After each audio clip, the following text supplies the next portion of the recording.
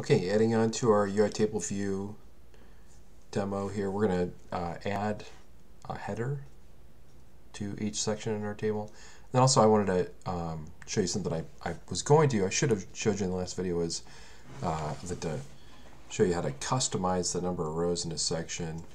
So uh, for this example, first we're going to just pretend like uh, there's not three elements for every array. So in, in this example for number of rows in section, we're returning three every time, assuming that each array has three elements. So I'm taking one of them, I'm taking uh, two elements out of language client side because really JavaScript's the only language for client side, right? And so now we need to customize how we did how we determine how many numbers of rows there are in each section. So what we'll do is we'll check each of those arrays. Um, so we'll say if uh, section is equal to zero. And then we're just gonna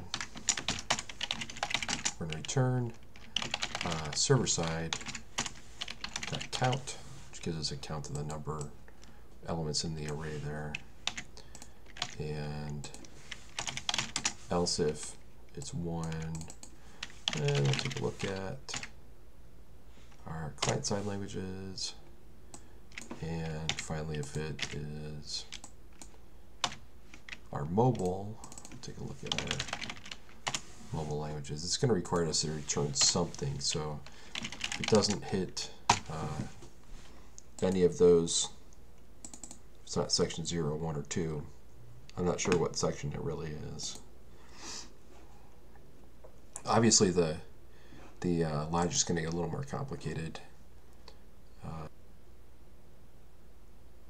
it's launching very slowly. so we can see we've got uh, PHP, JavaScript, Python. That's our server side. Then we have one uh, languages for client side. Then we have Swift, Kotlin, Java for mobile languages there. Uh, what about each section? Well, don't we want to identify each section at some point? Well, we can uh, override a, a, a method called title for header and section. And this is just going to return a string that's displayed inside of the header. And again, just like the, the uh, UI table view cell, we can customize the heck out of the uh, table headers as well, se section headers as well. Um, this very first, more simple example though, let's say if it's zero, we'll display um, actually I'm going to set up a title and I'll set title equal to server side languages and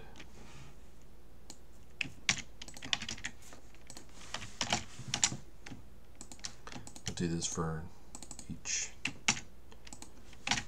array client side and mobile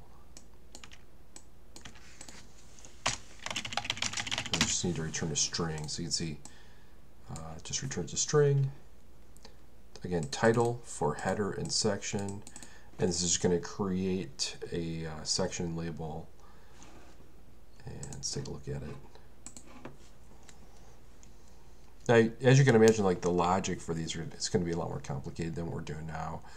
Um, you know, maybe it's more dynamic. Maybe it's, uh, you know, we're going to have to take a look at UI table view cell and typically there's multiple values in here.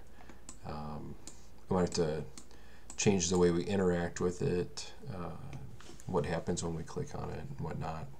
So a uh, little more to look at, but that's basically how to display a UI table view and uh, kind of a default UI table view cell.